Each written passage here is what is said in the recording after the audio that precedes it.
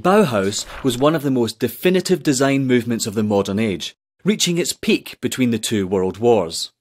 The word Bauhaus, loosely translated from German, means house of construction or school of building. Bauhaus was a new type of art school.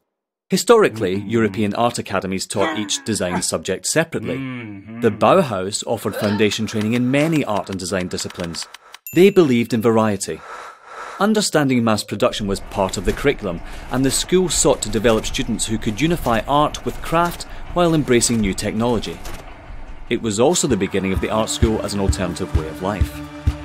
Germany at that time was a pretty conservative place. And before the Nazis said Nein to the Bauhaus, it was arguably the most celebrated art school in the world.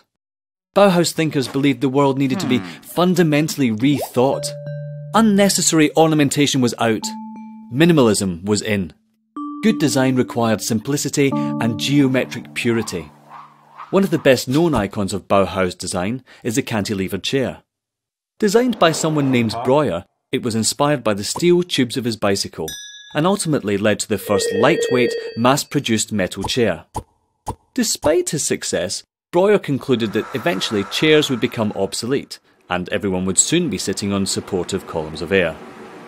Bauhaus was all about innovation and inspiration. Nowadays, Bauhaus influences can be seen everywhere, from road signs and graphic design to big windows and even bigger buildings. In architecture, the international style, as it became known, influenced skylines the world over.